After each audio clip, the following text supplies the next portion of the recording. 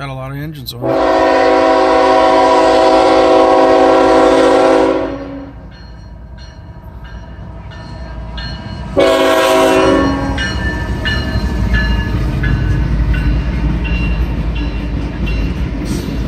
Five.